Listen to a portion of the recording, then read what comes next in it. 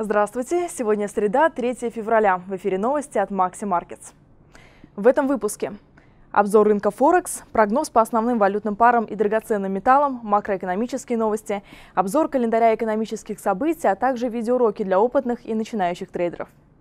И вначале о главных экономических новостях – Сегодня в центре внимания инвесторов окажутся публикации в Австралии, Японии, Китае, Великобритании и США индексов деловой активности в сфере услуг.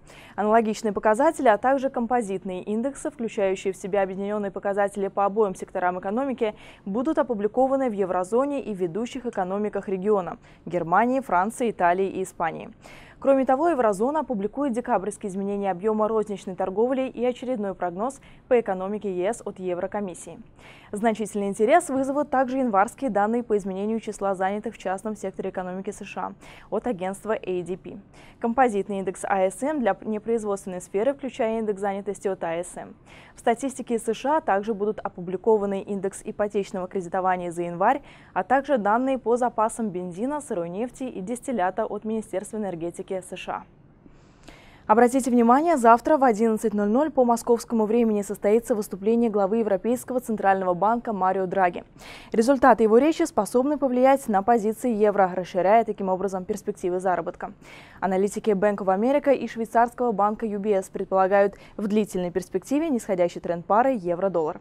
Будьте в курсе событий, открывайте сделки, зарабатывайте на новостях.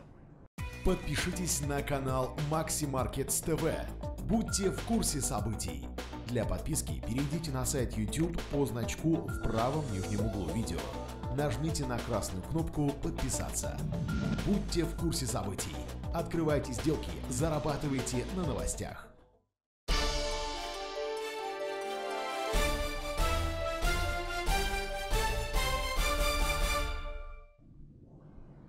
Пара евро-доллар с открытием сегодняшних торгов консолидируется в пределах уровней 1.0910-1.0930. Восходящая тенденция теряет силу и неоднократные попытки покупателей сформировать долгосрочный тренд на данный момент не увенчались успехом. Публикации индексов деловой активности ряда стран еврозоны PMI сегодня способны придать новый импульс паре и возобновлению роста котировок. В нашем прогнозе на сегодня предполагаем возобновление попыток покупателей закрепиться выше отметки 1.09 1.0930 и дальнейший рост до 1.0960, 1.0990. Поддержки расположились на уровнях 1.0910, 1.0890 и 1.0870. Покупатели фунта на азиатской торговой сессии сегодня были активнее продавцов. Ожидание трейдерами публикации индекса деловой активности в секторе услуг Великобритании сегодня в 12.30 по московскому времени будет способствовать дальнейшему формированию восходящего тренда и возобновлению попыток покупателей закрепиться выше отметки 1.4440. Пробой данного уровня откроет путь к целевым уровням 1.4460 и 1.4490. Итак, котировки золота достигли очередного локального максимума в 1131 доллар за унцию. На рынках царит атмосфера неопределенности, подпитанная очередным падением цен на нефть. Это, в свою очередь, стимулирует усиление спроса на золото. Поэтому в нашем прогнозе на сегодня следующая попытка преодолеть рубеж в 1131 доллар. Это произойдет после некоторого смещения цен вниз до отметки 1126. Здесь золото будет поддержано своей 50-дневной скользящей средней, имеющей все же позитивный наклон.